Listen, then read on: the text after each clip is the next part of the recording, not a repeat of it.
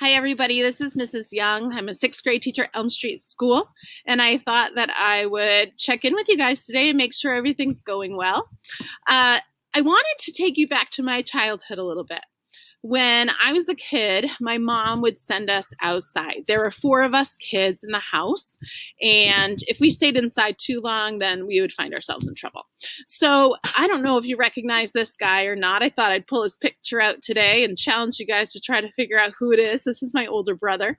And um, we used to play a game where we would throw a tennis ball up onto the roof and we would try to catch it before anybody else could.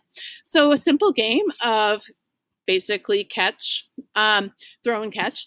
And I was thinking about how we could build some academics into it today.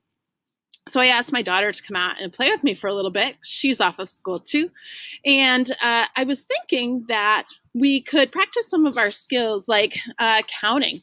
Um, so be the person to throw the ball, and the other person could see how far they could count by, let's say, twos or fives or sevens or eights. Uh, for you older students, another game I thought we could try was uh, rhyming. So if I said, name all the words that you can rhyme with at before you catch the ball, then we could say bat, cat, rat. So, just an idea of something that you could try uh, if you are home today and needing to get outside. Uh, we'll do one round of counting real quick and then I'll say goodbye. Ready? Ready. Two, four, six, eight, ten, twelve, fourteen, sixteen. Okay, so easy as that.